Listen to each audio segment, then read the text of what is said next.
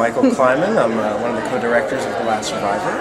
I'm Michael Pertnoy, the other co-director of The Last Survivor. Michael came to me with the idea of making this film about survivors, both of the Holocaust and Rwanda and Darfur and, and Congo, as it turned out.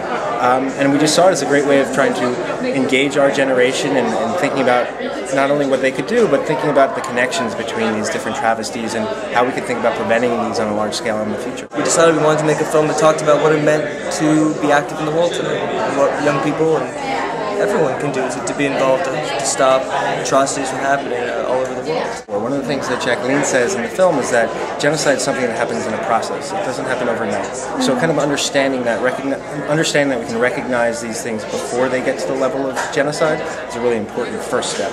I think the for us as American citizens who live in the largest and most thriving democracy in the world, we need to tell our political officials and leaders in this country that they need to do more to stop human rights atrocities, genocide from happening in the world. So the easiest thing anyone can do, uh, there's a free hotline called 1-800-GENOCIDE. Uh, you can call that, it will connect you directly to your local officials, to the White House, to the Secretary of State, and you can let your voice be heard.